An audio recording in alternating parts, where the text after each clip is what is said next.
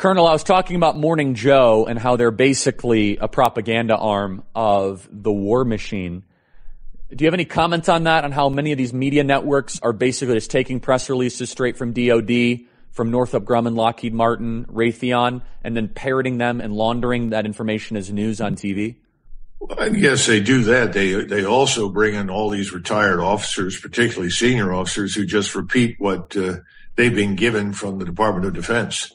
So it's a it's a universal lie uh, that is designed to maintain the fiction that we're doing something positive that the Ukrainians can win and that Russia is evil incarnate. And unfortunately, because of the Cold War, the long experience of conflict with the Soviet Union, people are ready to believe it. But in truth, uh, the picture is very, very different. We're, we're involved in the most corrupt country in the world, possibly called Ukraine. The Ukrainian population is now down to less than 20 million, which means that 14.5 million have left the country or in many cases being killed this is a this is a catastrophe. It's it's gross mismanagement of resources on our part here at home, because uh, our war stocks are way down. Somebody asked me the other day if we had to fight a major war, could we do it? I said, well, as long as it lasts a week, we could do it. And he said, what do you mean? I said, after a week, all the missiles are gone, all the ammunition is gone. We're in very bad shape right now, and people don't seem to understand that. I mean, I mean, Colonel, I, I don't want to use the word without any basis. But I mean, how is that not high treason to deplete the military stockpile for a foreign adversary? I mean, you could want to help Ukraine, you could be misguided on that, but then to make us so unprepared, that, that, that's a direct threat to our national security. Well, one would think the simple act of ensuring that our borders are open and undefended, uh, of dismantling the rule of law in our major cities, of appointing people who are turning against the core American population in favor of criminals and foreigners, I'd say that qualifies as well. But again, the American people are still three meals away from revolution, as Lenin would say. And I guess that's, that's the problem. Uh, at some point, Americans have to demonstrate that they're, they're not going to put up with it any longer. Uh, they're not there yet. And now a Raytheon CEO says Ukraine has depleted the weapon stocks. Now, just to play devil's advocate, Colonel, there is there is truth that only because I could see them lying about it to get more money from Congress because these people are a bunch of cockroaches. But you're saying this is actually legit. That it's not just. Oh no, it, it's legitimate, and just just keep in mind he's going to gouge us on price. Of course he will, because you're going to have to accelerated timeline, you know, triple the price, all that crap. Yeah. And in and in addition, there are a lot a lot of this stuff should be replaced by new systems. In other words, it would be a mistake just to replenish all of the old material. I mean, we're we're 30, 40 years away from really new military equipment in great quantities flowing into the armed forces. We're, we have an armed force that's designed for a kind of warfare that is over. I mean, it's still a major tribute to World War II. Uh, structurally, we need radical, radical reform. And remember, we've got 44 four stars on active duty for a force of less than 1.1 million. And during World War II, when we had 12.2 million in uniform, we had seven four stars. Think about that. Unbelievable. I mean, you think about it, the biggest war hawks are getting rich off of this.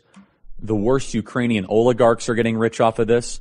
The people who pay the price are ordinary Americans who have to watch the constant stream of flow in capital, money, and attention to a border that you can't recognize while we're being overrun for 5,000 people a day. Where's all the money gone? Where's the money? Billions and billions and billions of dollars spent on Ukraine. Our border remains wide open. 10,000 illegals are coming across the border every day. Might be 15,000. We don't know. It's just a guesstimate. But our regime and many of your Republican leaders are just sending more and more and more and more and more money to Ukraine. But where has the money gone? Well, Jordan Schachtel joins us. He is the author of the Dossier Substack, and he's asking that question and doing the research. Jordan, welcome back to the program. Jordan, where is the money? Hey, Charlie. Thanks for having me. That's that's the million, or that's not really the million dollar question. That's the hundred and fifty billion plus dollar question: mm-hmm. is where's the money going? Where's the oversight? Why is Ukraine losing when we're giving them all this money? I mean, I don't know if you re- if you saw the news just this weekend. in uh, Bakhmut, uh, uh, the Wagner group, which is a penal battalion mercenary group, defeated Ukraine's organized army and captured a key city. And I'm just kind of wondering, like, what exactly is going on here? Why, if, if we're committed to the defense of Ukraine and we're we're sending all this billions of dollars, like, why isn't Ukraine winning? And then it gets me thinking, like, what exactly is the goal here? If it's not for Ukraine to win, what exactly is the goal? Okay, so then let's talk about this $3 billion accounting error. What's the story behind that? Yeah, so when they passed, when they continue to pass all of these bills for Ukraine funding, they claim that there's all kinds of oversight mechanisms and, you know, regulatory standards. But then we find out that there was some type of like $3 billion accounting error. And my suspicion, based on, you know, years of reporting on these wars, is that they just kind of like decide to fudge the numbers from time to time, depending on where the political winds are moving. And if Ukraine needs a few more billion dollars, what they can do is basically uh, increase the value or devalue some of the ammunition or missile batteries that they sent and it's basically just become a giant accounting gimmick, and there's really just zero accountability whatsoever. So, so if you were to guess where the money is, I mean, do you think it's being laundered? Do you think that it's going to? I mean, wh- where where is this money going? Is it all actually being spent on the war? Is there an inventory of missiles, bullets, rifles, logistical support? I mean, or is just kind of we're not even allowed to ask questions?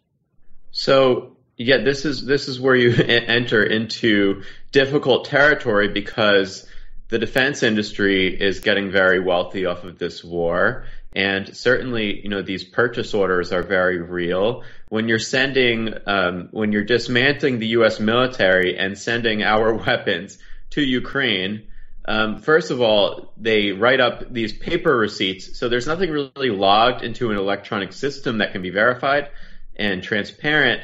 But when you're uh, dismantling our own military, that's great news for the defense industry in Washington, D.C., because that means new purchase orders.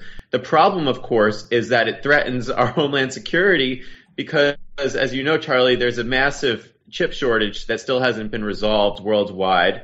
We have China that is continually threatening Taiwan, which is an essential chip maker for the world. So when we're sending Patriot missile batteries, while the our government will write a check for the defense industry, so that's all well and good.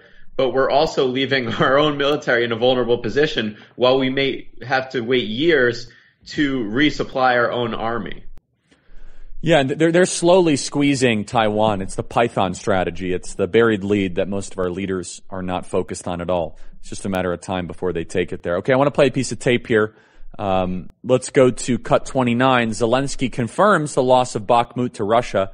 But hey, at least you guys, as American taxpayers, can say you gave it a good old try. Play cut 29. Does Zelensky, is Bakhmut still in Ukraine's hands? The Russians say they've taken Bakhmut. I think no. But you have to, to understand that there is nothing. They destroyed everything. There are no buildings. It's a pity, it's tragedy, but for, for today, it, Bakhmut is only in our hearts. So, so, Jordan, what does success look like exactly then for the American regime in this war? Yeah, very sadly, the strategy seems to be to kill as many Russian soldiers as possible and use the Ukrainian civilians who are being drafted into the military to do so. Like the strategy is literally fighting down to the last Ukrainian. And if you're a Ukrainian, you know, living your life in Kiev, um, you have to really think about like who are, exactly is your friend here. We know that the Russians aren't exactly, you know, motivated to support uh, the interests of Western Ukraine, especially. But it, you know, the, the NATO U.S. aligned Biden administration also has plans for Ukraine, and those plans involve basically using the Ukrainian military as the, the tip of the spear in their kind of like xenophobic operation against Russians in general because they view Russians as as a threat instead of trying to make peace between these two countries. Unfortunately, the Biden administration is acting as a very bad actor, as you've seen through the sabotage of the Nord Stream pipeline. I mean, they're willing just to just to make life more difficult for Russians in general. They're willing to also harm basically the entirety of the European continent.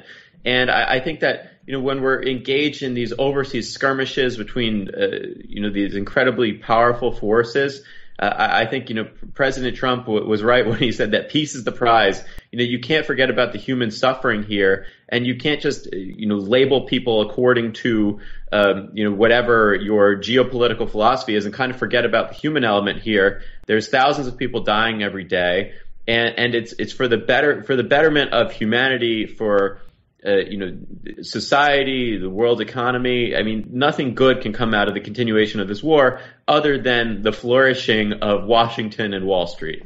Yeah, I mean, look, Russians are humans too, and no one's allowed to say that out loud, but I, I don't delight in the killing of Russians. I, I had somebody once at an event, they said, Charlie, I watch videos of Russians being bombed and I enjoy that. I said, That's, I don't, I don't feel that way at all, at all.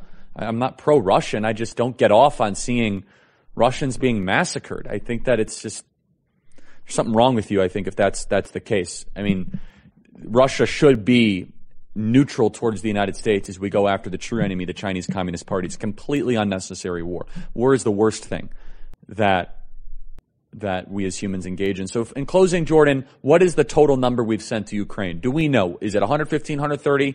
200 billion. What is the actual, do we have any idea what the actual number is? Based on my reporting on the war, I would put the number at around 150 billion plus whatever they value the supplies at. You know, the Europeans, they say that uh, Putin is akin to Hitler marching through Europe. The Europeans don't seem to think so because they're not really giving them any money. Um, so it, it's very interesting to hear all of these uh, World War II analogies coming from the Europeans, especially. But yet, you know, the U.S. taxpayer is being hit hard here, especially in a in a very difficult economic environment. We just need to get out of this, you know, the, the overseas empire business. I agree with you entirely. We need to start treating people as human beings, and we need to just start focusing on our own sovereignty, defending our own sovereignty. You know, building the freaking wall on the southern border. Like, why are we spending 150 billion dollars on Ukraine 5,000 miles away this conflict is taking place. Like enough of the empire stuff. I like to just see our country get back to using the military to defend our physical sovereignty and leave it at that. The GAE, the Great American Empire, or you could call it the gay, that is trying to take over the world while our own domestic homeland collapses. Our country is falling apart. Our kids are committing suicide at record rates. There are 10 to 15,000 illegals that are trespassing into our nation a day. Opioid deaths. The economy is on the jitters. The dollar is about to lose world reserve currency status, which is tied to the stupid proxy war in Ukraine. And we're told that we just have got to spend more money. Got to spend more money. On what? On an ideological crusade against a border dispute to go make Raytheon's board of directors happy, to go make uniparty politicians that don't want to address real issues more popular. It's a disgrace. And I'm it's time for Americans in both political parties to say enough. End the war.